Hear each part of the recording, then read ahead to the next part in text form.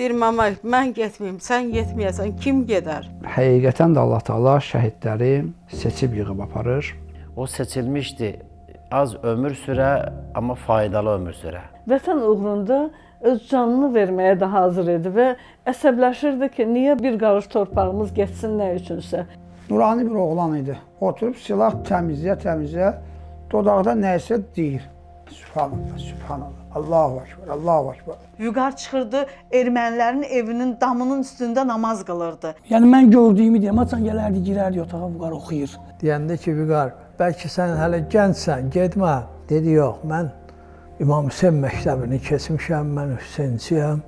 Mən Hüseynci kimi də müharibədə iştirak eləyəcəm.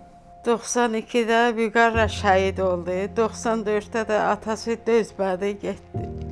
Deyirdim mən görəsən pis atayam. Oğlun səndən razı gedib, sən pis ata deyilsən.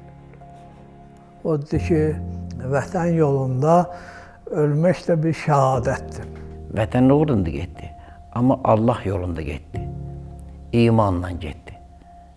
Tərbiyə, savad, bilik, din, iman və vətən sevgisi. Bunlar qovuşmalıdır. Yalnız bu vaxtı Vüqar kimi bir şəxsiyyətlər yetişə bilər. Allah rəhmət eləsin.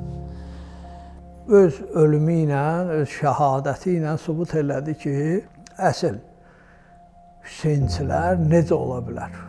Həmişə bizim qəlbimizdə.